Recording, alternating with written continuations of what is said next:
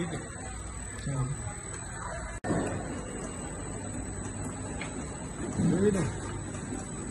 कितनी बार हाफ़ किया?